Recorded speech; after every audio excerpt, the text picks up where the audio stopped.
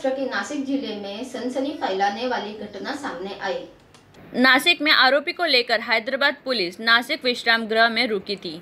आरोपी विजय बिरारी 45 वर्षीय इस युवक ने शासकीय विश्राम गृह से छलांग लगाकर अपनी जीवन यात्रा खत्म कर ली। सवालों के घेरे में हैदराबाद पुलिस, नासिक पुलिस आगे की जानकारी के लिए करेंगे हैदराबाद पुलिस की इंक्वायरी